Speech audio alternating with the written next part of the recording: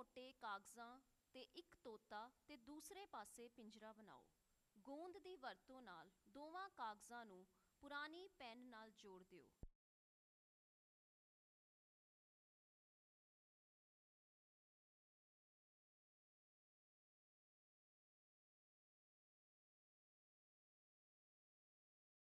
ਹੁਣ ਝਾੜੂ ਦੀ ਤਿੱਲੀ ਦੇ ਇੱਕ ਪਾਸੇ ਧਾਗਾ ਬੰਨੋ ਤੇ ਇਹਨਾਂ ਦੋਵਾਂ ਨੂੰ ਪੁਰਾਣੇ ਸਕੈਚ ਪੈਨ ਦੇ ਛੇਦ ਵਿੱਚ ਪਾ ਦਿਓ।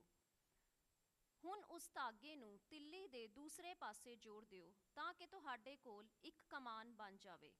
ਹੁਣ ਪੈਨ ਦੀ ਵਰਤੋਂ ਨਾਲ ਸਕੈਚ ਪੈਨ ਦੇ ਧਾਗੇ ਨੂੰ ਉਤਾਰੋ ਤੇ ਅੱਧਾ ਘੁਮਾ ਦਿਓ। ਇਸ ਤਰ੍ਹਾਂ ਕਰਨ ਨਾਲ ਧਾਗਾ ਉਸਦੇ ਚਾਰੋਂ ਤਰਫ ਘੁੰਮ ਜਾਵੇਗਾ।